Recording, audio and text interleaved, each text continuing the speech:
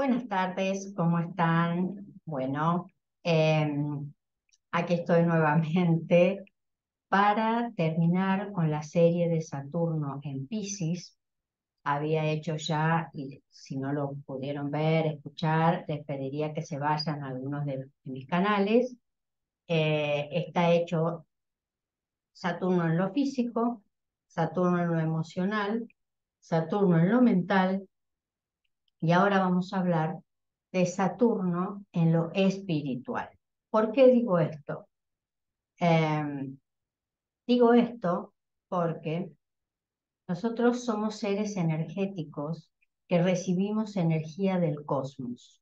La energía no se produce en este ámbito planetario donde nosotros vivimos porque este cuerpo no es un principio. ¿Qué significa eso? Significa que tiene que recibir vida desde afuera. Eh, ¿Es un vehículo para generar vida? Sí, pero cuando la recibe desde afuera, ¿quién es quien va a insuflar vida, eh, realidad tras realidad, para poder generar su propio proceso de evolución, integrándolo con el proceso de evolución de este cuerpo, es el alma. Y el alma tiene un orden evolutivo. Nosotros posiblemente la mayoría piense que esto es así como muy al voleo. La energía viene, no sabemos de dónde, sale, no sabemos de dónde. No, esto es mucho más ordenado de lo que nosotros podemos imaginar. Como todo cosmos tiene su orden, cosmos significa orden. Eh, y em, en este planeta ¿Cómo se observa? El orden se observa justamente en esto que es, permítanme mostrarles para que les quede muy claro de qué vamos a hablar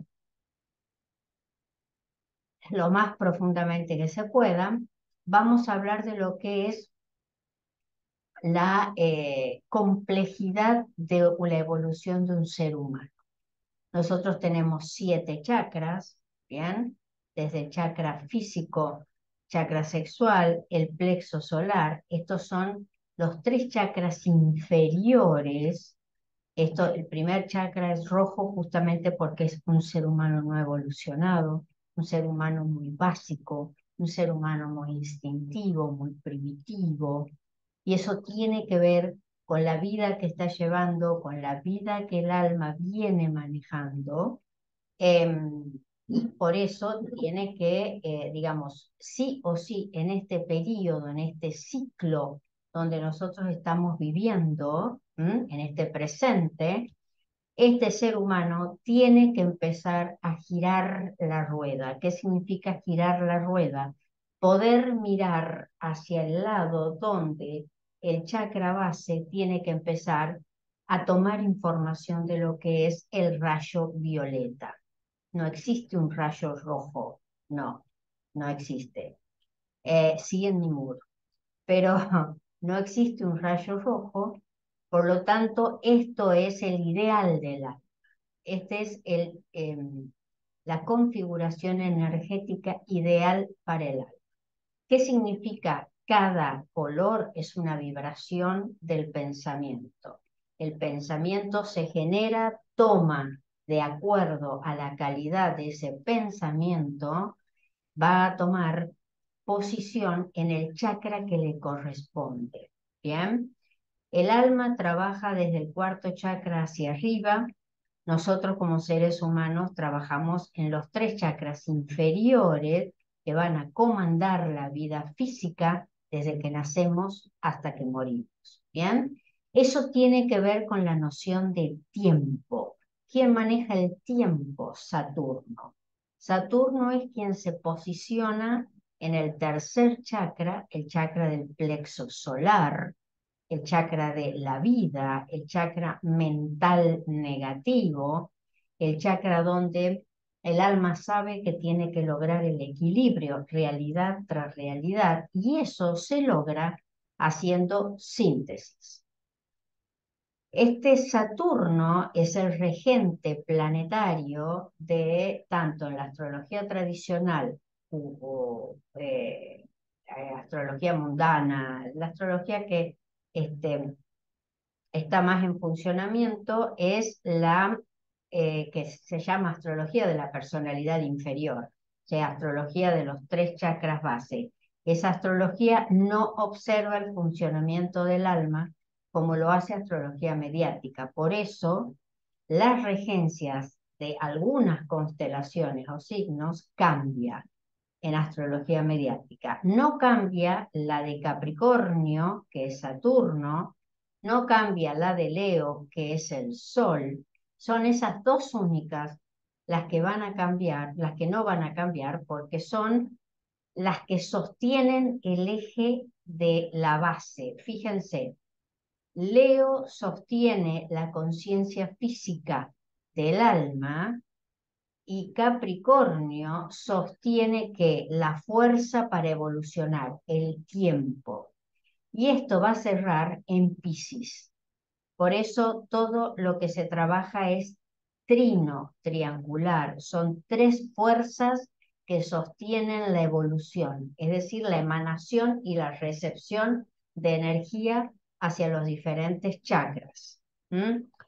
Eh, de aquí que cuando yo pongo esto para que cada uno lo pueda observar, lo que estoy diciendo es, cuando cada uno de nosotros genera un pensamiento de determinada índole y sabiendo yo el tipo de pensamiento que más o menos corresponde a cada uno de los chakras, sé que cuando emito ese pensamiento, ¿a qué chakra va a ir ese, ese pensamiento? ¿A qué? A ocupar una parte de lo que es mi trayecto de vida. ¿Por qué? Porque voy a tener que desarrollarlo, voy a tener que reflexionarlo, voy a tener que elaborarlo, ponerlo físicamente, concretarlo o no, o trabajarlo desde la inercia Cuidado porque el tercer chakra, tercer chakra, que es el chakra del sistema digestivo en lo físico, por eso se llama de los tres mundos físicos, tiene que ver con ese plexo solar eh, regenteado por Saturno, que es donde nosotros como seres humanos necesitamos digerir la vida. Digerir no significa que yo tenga una digestión fantástica, que nunca me duela nada, que no tenga ningún problema de intestino, que es una de las patologías más comunes en nuestra humanidad, justamente por la influencia de este chakra, que tiene que ver con los procesos de síntesis. Aquí tengo páncreas, hígado, eh, vaso, eh, estómago, este, mm, intestinos, ya saben que los intestinos eh, son el segundo cerebro, tienen neuronas, igual que tiene neurona el corazón. Em, entonces, nosotros estamos en momentos muy complicados como humanidad. Recuerden que nosotros somos vistos como humanidad, no como seres individuales. Como seres individuales, no, nosotros tenemos que modificar nuestra conciencia y empezar a mirarnos todos como un solo bloque funcionando.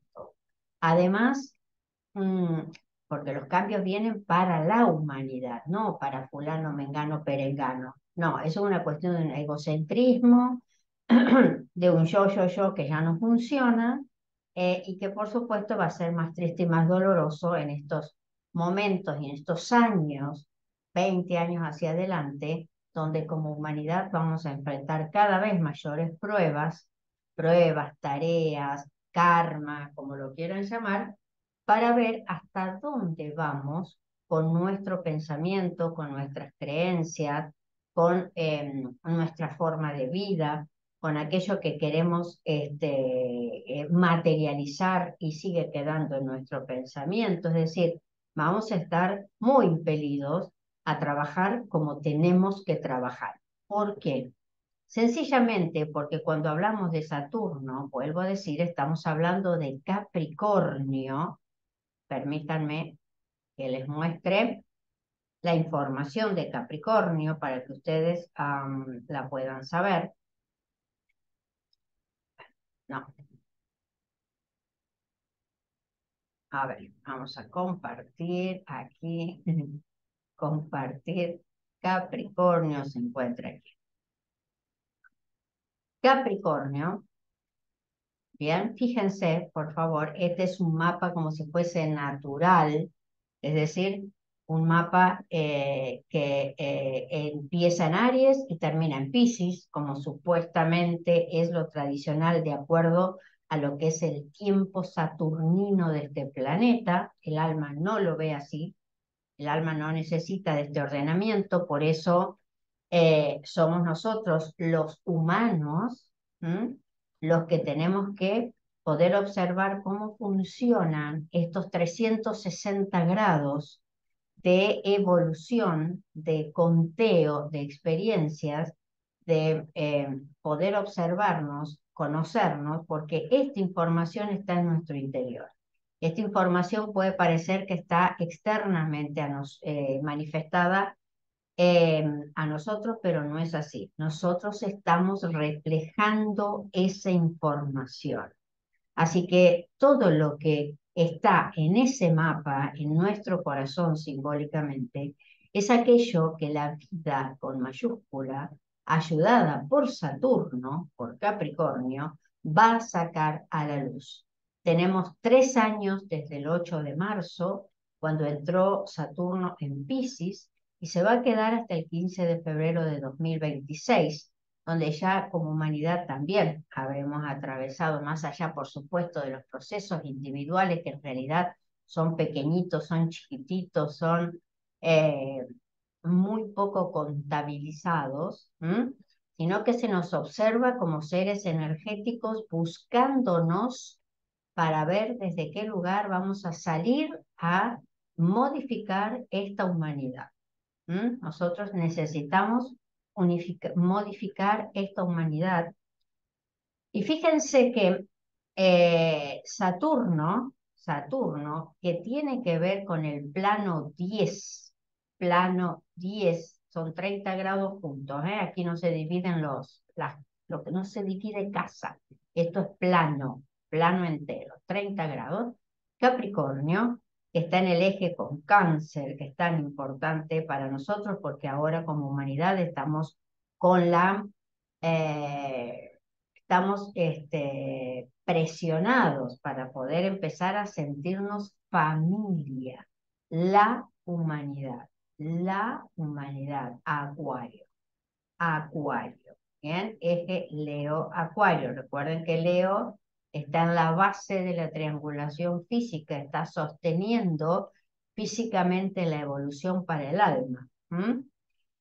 Y Saturno, que está en Capricornio, que es realización superior. Este es el último cuadrante, el cuadrante donde Capricornio, Acuario y Piscis harán la, la colecta de todo lo que se viene manifestando físicamente para poder ver qué es lo que el alma se va a llevar. El gran secreto de Capricornio es eh, que detrás de esa energía que parece que es el sistema, la matrix, la exposición, ¿no? no, detrás de esa energía se encuentra, de esa información se encuentra el alma. Ese es el gran secreto de Capricornio. Y por supuesto, em, al nosotros observar que la, la, la información de Capricornio tiene que ver con realización superior, o sea, yo tengo que poder trabajar mucho más aquello que vengo trabajando desde lo que es mi equipo psicológico, ¿ah? esa gran triangulación física que les mostré hace un rato, que es la nueva psicología la nueva psicología que se va a desarrollar mucho más en un tiempo, a medida que vayamos siendo capaces de sintetizar y de desapegar la información pasada, donde ya muchos seres humanos no van a coordinar ni sintonizar con esa información. ¿Por qué? Porque todo es evolución. Todo es evolución. Entonces, esta información de realización superior Capricornio, qué quiere el alma, qué desea el alma, hasta dónde tiene que llegar. Por eso aquí tengo el señor del karma. Capricornio es quien va registrando todo lo que va haciendo el alma, realidad tras realidad. Y al posicionarse en Pisces, Observen lo que va a detonar. El conocimiento interno de cada uno de nosotros, o sea, nos va a poner la información de nuestra alma adelante. Así sos, así tienes que trabajar. Esto es lo que tu alma viene formateando. ¿Para qué? Para que uno deje una forma de ser que ya no funciona y expanda su conciencia. Para hacer esto tenemos tres años, claro. Primero, porque como conocimiento interno, yo tengo un inconsciente individual. Ese es el que se trabaja, por ejemplo, en psicología. ¿Bien? Depende de la psicología, será más o menos profundo, profundo el trabajo. Em, pero también tengo allí aquello que Carl Jung se este, encargó también de dejar escrito en su psicología analítica cuando describe el inconsciente colectivo. ¿Qué significa eso?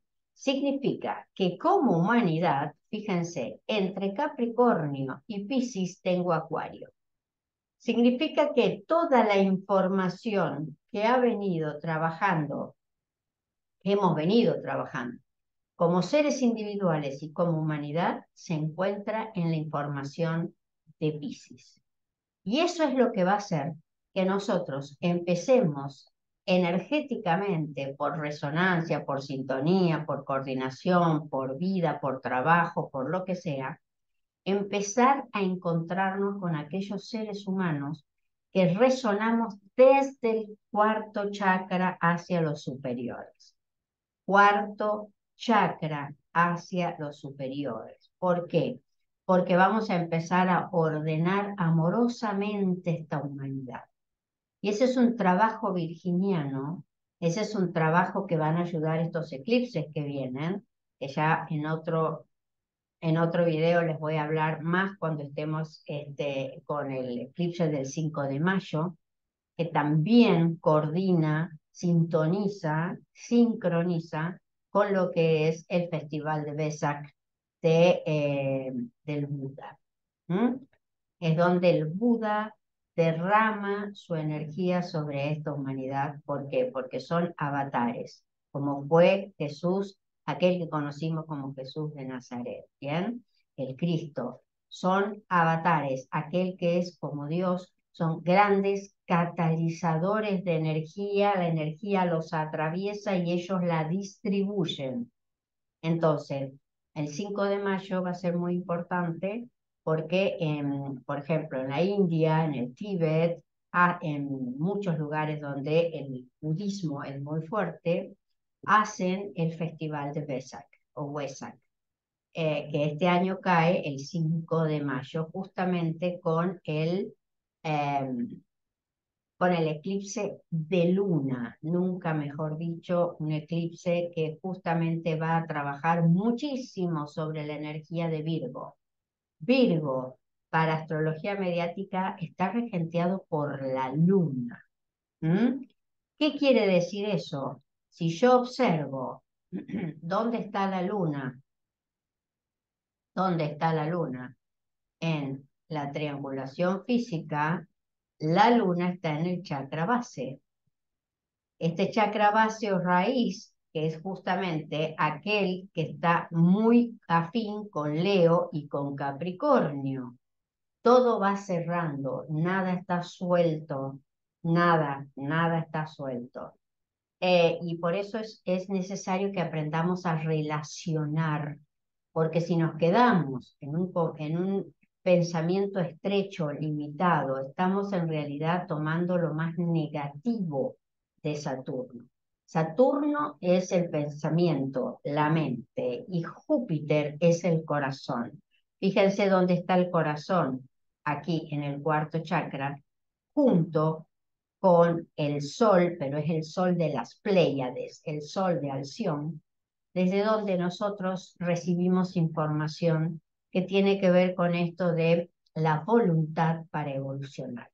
Y cuando hablamos de voluntad para evolucionar, estamos hablando del séptimo rayo, el rayo de orden y ceremonial, es decir, aquel rayo que nos va a llevar en, ese despliegue que hace de energía un rayo que empezó a manifestarse en el siglo pasado, más o menos en 1950, está aproximadamente 1500 años en, en cada conciencia, pero ¿por qué es muy importante?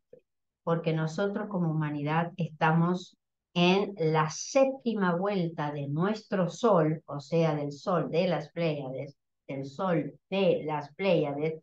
Recuerden que el sistema solar transita completo y estamos haciendo una combinación muy especial a nivel evolutivo, que por eso digo, es la séptima vuelta que nosotros vamos a hacer cuando el Sol en el año 2117, el Sol nuestro, ¿bien?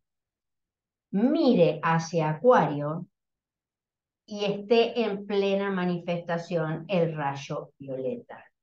Ese rayo violeta que ya para entonces nos habrá enseñado que estamos cerrando un ciclo planetario. Recuerde que para 2117, por supuesto, faltan, ¿cuánto? 94 años.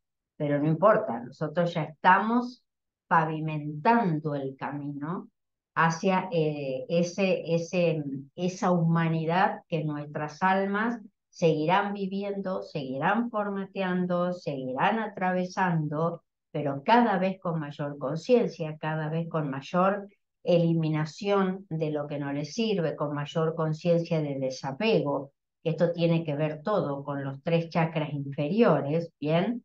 Cuando un alma comienza a trabajar con una base sólida violeta, es cuando esa alma ya está en disposición de trabajar para Shambhala, es decir, para las grandes vidas que nos acompañan, que nos sostienen, que nos em, envían información cada vez que la necesitamos, pero para eso nosotros tenemos que hacer el trabajo de limpieza.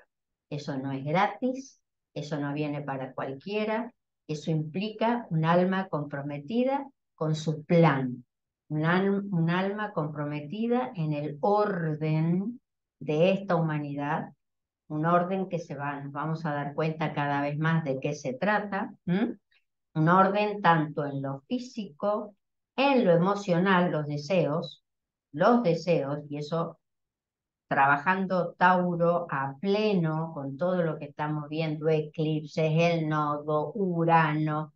Fíjense que Urano está trabajando con Tauro, ¿bien? Está haciendo que está sacando a la luz, sacando del camino de cada uno aquello que no le sirve porque podría ser que uno no quisiera sacarlo voluntariamente. Entonces, de ahí es que decimos que Urano trabaja con el caos. ¿Por qué?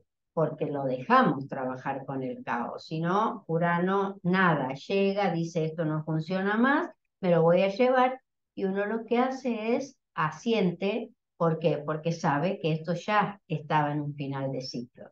Entonces, cuando hablamos de Saturno, hablamos de muchos finales de ciclo, Hablamos de muchas muertes, muertes físicas, muertes emocionales, muertes mentales, las muertes de las ideas, las muertes de los sistemas como eh, sistemas mentales como nosotros los conocemos, vieja historia, vieja geografía, eh, un planeta que está por este, autoconfigurarse a través de qué? A través de lo que son justamente todas las partes físicas, terremotos, tsunamis, em, aproximaciones eh, de tormentas solares muy fuertes, todo lo que además nosotros como seres humanos aportemos a la vida del planeta, recordando que el planeta es un ser vivo, recordando y recordando que el planeta en estos momentos es ni más ni menos que un gran campo de batalla entre los seres humanos que pretenden arrojar cada vez más luz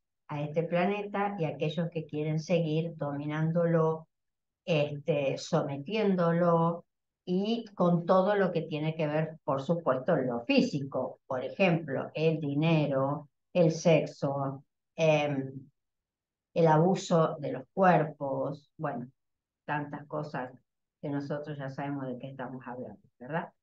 Eh, por lo tanto, Saturno en lo espiritual, que es el último plano de trabajo, porque justamente la vibración es 4 porque es la más trabajosa, porque primero tengo que entender cómo funciona lo físico, después lo emocional, lo mental. Fíjense que el, cuarto, el número 4 me remite al cuarto chakra. Y el cuarto chakra, justamente, ¿de qué me está hablando? Que ya empezamos a necesitar entender de qué se trata esto del etérico, ah, de qué se trata esto del akáshico, de qué se trata esto de comprender el nivel evolutivo, dónde estamos, para qué estamos, cuáles son nuestras raíces, cuál es nuestro pasado, qué cosas tenemos que modificar en este presente de, de, para que ese pasado que, fue, que es negativo, que nos ha traído hasta aquí, con plena conciencia de lo que estábamos haciendo, no vuelva a repetirse. Por eso, cuando se trabaja en el plano espiritual, en realidad se está trabajando con algo muy inmenso, muy grande, de, un calibre de expansión para integrar los tres planos anteriores. ¿Bien? Entonces Saturno, en lo espiritual, la pregunta clave es ¿quién soy? ¿Para qué estoy? Esto es lo que quiero porque no sé si es lo que me gusta, es lo que quiero, es lo que no quiero. ¿Hasta dónde llego con mis ambiciones? ¿Hasta dónde no voy a pisarle la cabeza a otro para ser más yo. ¿Hasta dónde juega un papel eh, preponderante en mi vida el físico, lo físico? Todas esas son preguntas espirituales. ¿Por qué? Porque todo tiene que ser espiritualizado. Y espiritualizado significa pasar la materia, un cuerpo, por ejemplo, empezar a entender que el cuerpo, porque estoy en el primer nivel si quieren, el cuerpo es un vehículo que necesita ser un templo para el alma. Si yo no lo puedo hacer así, si yo lo degrado, lo, lo sumo en droga, en sexo, en todo lo que es absolutamente exacerbado, la vibración es roja. La vibración no es violeta. Porque el violeta buscará la relación entre los opuestos, o sea, me voy a relacionar eh, físicamente con mi alma, me voy a relacionar físicamente con mi cuerpo, me voy a relacionar físicamente con mi mente, me voy a relacionar físicamente con los otros seres humanos.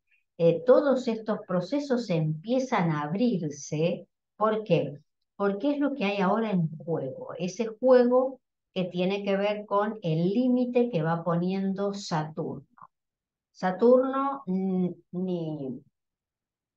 ni a ver, Saturno eh, no indica, Saturno muestra la energía y dice, esto es lo que yo vengo a hacerte trabajar, a ver hasta dónde me acompañan. El resto, karma, pero ojo porque el tiempo de este planeta y de esta humanidad está siendo cada vez más acotado en cuanto a los, los hechos y las situaciones que vamos a enfrentar como humanidad para poder entender cómo es este juego, el gran juego de la vida, como dicen en el hinduismo, Em, y poder darme cuenta de qué estoy jugando, a qué estoy jugando, hasta dónde es riesgoso lo que estoy haciendo, hasta dónde me da paz, hasta dónde puedo entender que la vida fluye permanentemente, que todo tiene un sentido.